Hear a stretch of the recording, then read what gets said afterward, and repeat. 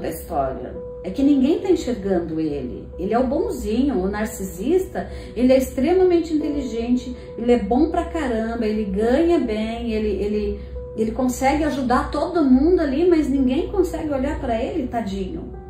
Entende? Então ele vira o tadinho. Ele não é um monstro. Ele né? não é um monstro que essas pessoas pintam.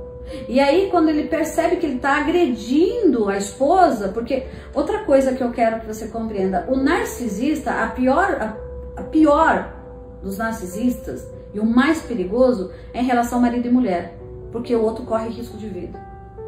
Compreende?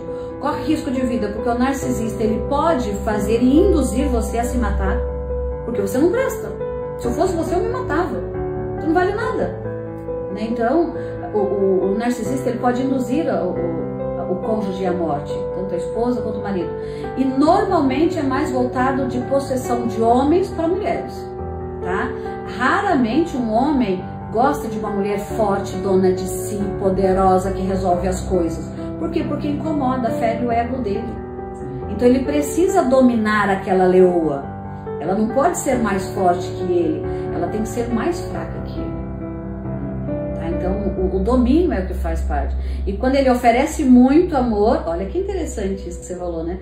Ele oferece muito amor para tirar de você tudo que ele precisa.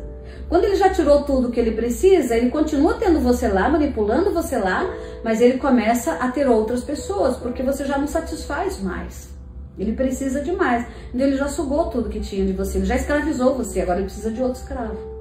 E ele busca outros escravos e continua ainda mantendo os escravos que ele já tinha. Exatamente, porque ele é bom nisso, ele, ele ele é bom em manipular. E ele consegue ser inocente em todas as acusações. E ele consegue também encantar muito bem também as Sim. pessoas.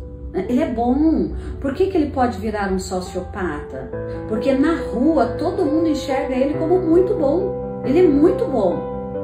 Ele ajuda todo mundo, ele paga bebidinha para todo mundo, ele é o melhor da família, ele consegue ser solidário com todo mundo. Aí a esposa vai reclamar desse homem? Como que ela vai reclamar dele? Ele é ótimo. O narcisista, tem muita gente que pergunta se o narcisista ele tem, ele tem cura. Gente, eu acredito fortemente que o narcisista é um transtorno. Eu acredito que o ser humano tem jeito, tá? No entanto, não é do jeito que a gente quer. Enquanto o narcisista ele não perder e ele precisa perder por amor ou por dor para ele procurar ajuda e ter uma mudança de comportamento dele.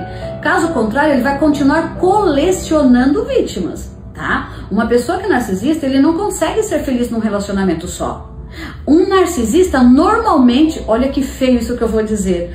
O narcisista normalmente tem relação extraconjugal. Normalmente ele tem uma amante, tem alguém aí por trás. Este é o segundo capítulo do mini doc sobre Daniel Mastral que estamos fazendo, enquanto imersos em pesquisas aprofundadas sobre o caso para a confecção de um livro sobre a história, uma parceria deste canal e a doutora em psicologia Thais Avarese.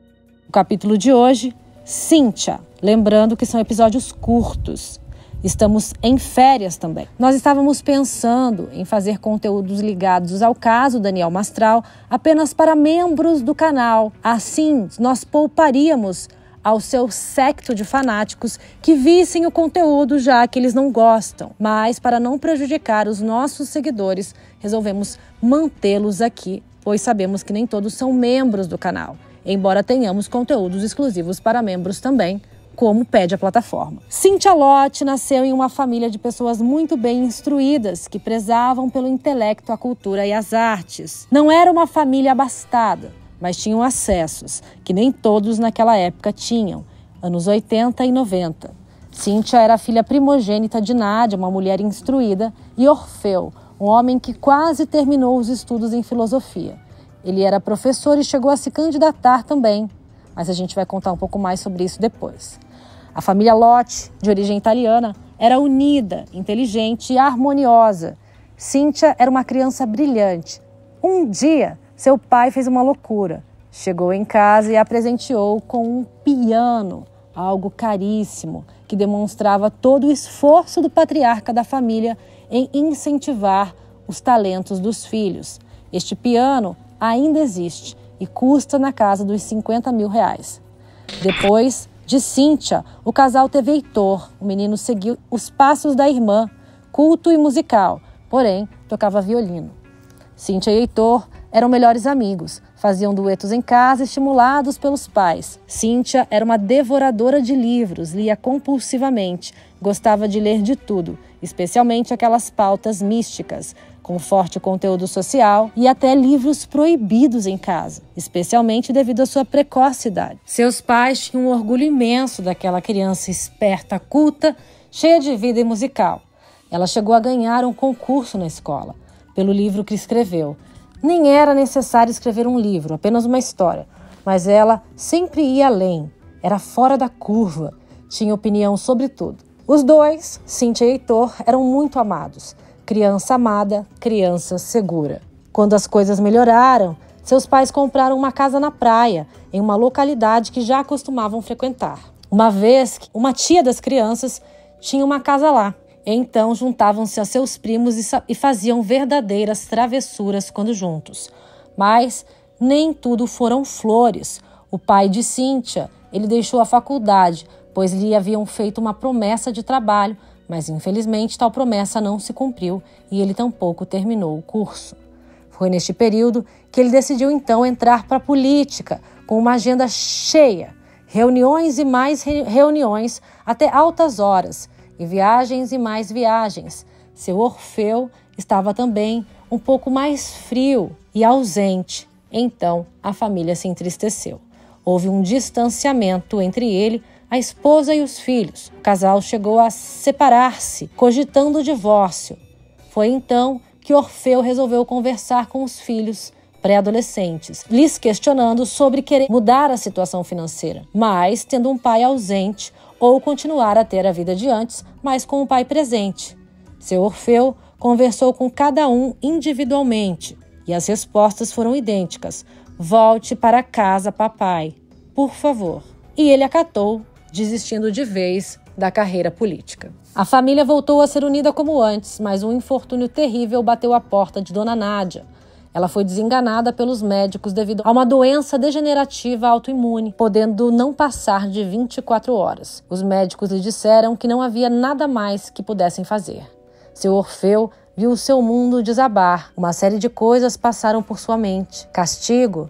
Será que se eu a levar aos Estados Unidos conseguiria um tratamento de ponta?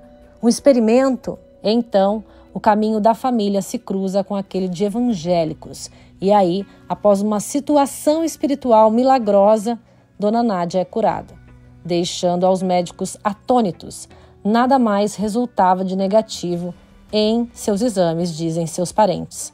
Importante salientar que estes são relatos dos familiares. A partir dali, a família toda passa a seguir as doutrinas do protestantismo assiduamente, especialmente seu Orfeu. Os detalhes serão contados no livro de edição limitada que está sendo escrito por esta jornalista e pela doutora em psicologia Thais Avarese, especialista em depressão. O bullying não influenciou em sua dedicação e resultados, afinal, ela era de fato inteligente e ninguém conseguia tirar isso dela, com bullying ou sem. Por ser seu irmão, Heitor passa a sofrer as consequências disso tanto por parte dos colegas quanto por parte da famigerada professora. O bullying perdura até o fim dos tempos de escola.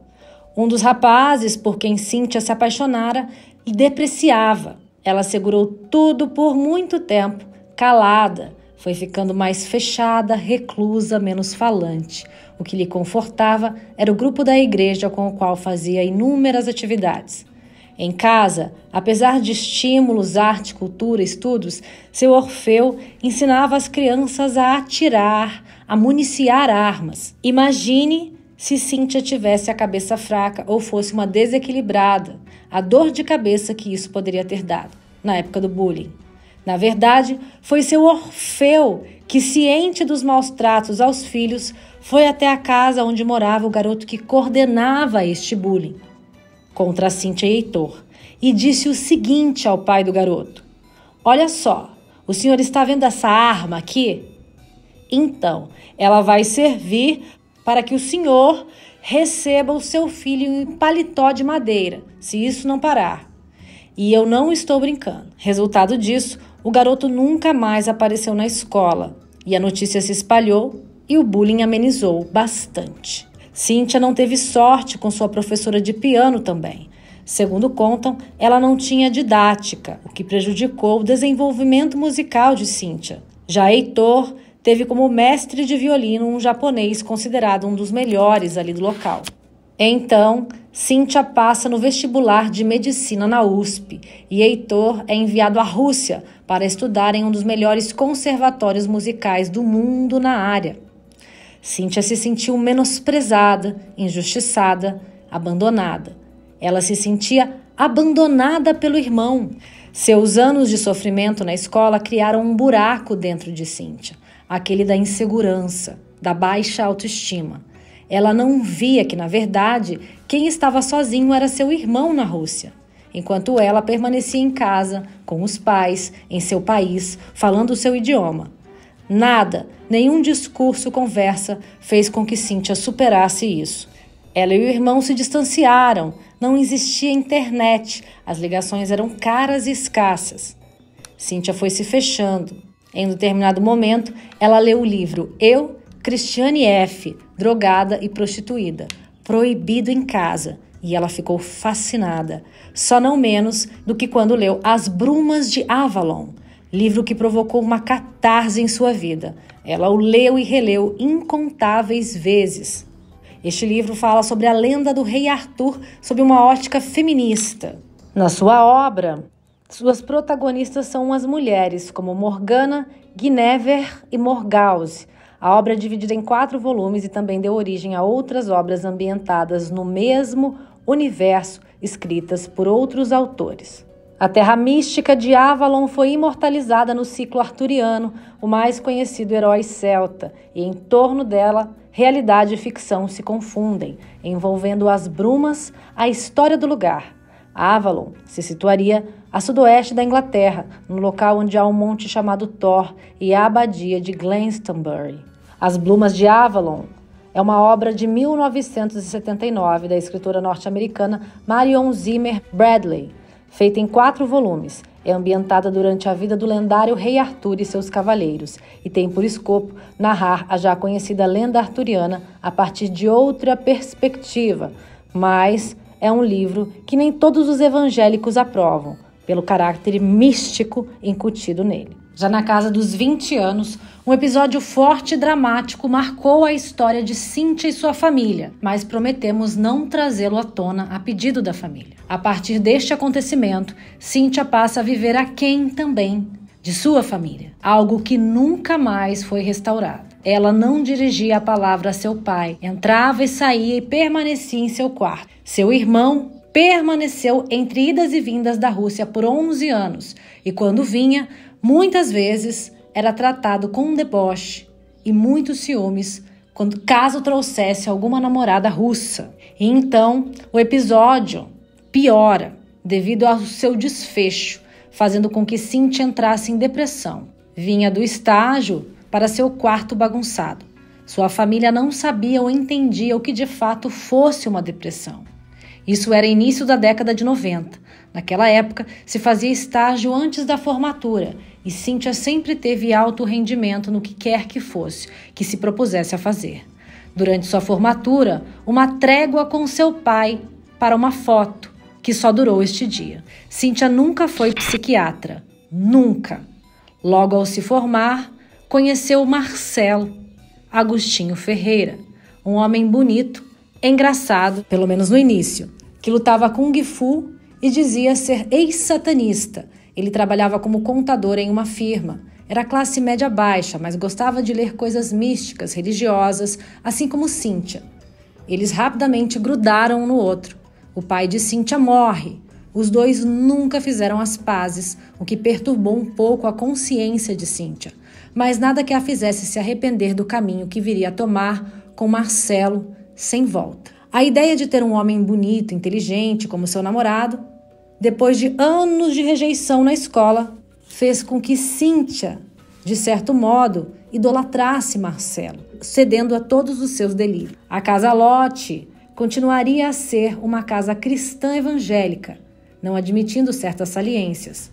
Quando Heitor vinha da Rússia, ele não permitia que Cíntia e Marcelo ficassem trancados no quarto com a porta fechada, o que irritava Marcelo, que muito rapidamente passou a demonstrar querer se apropriar da casa e de tudo o que Cíntia e sua mãe tinham. Ele dizia a Heitor: Por que você não arruma uma casa para você? Essa casa aqui não é sua. Esse foi apenas o início da entrada de Daniel Mastral na vida de Cíntia, ou Isabela Mastral, o personagem que ele criou. Que ele deu vida e acredita-se que ele matou.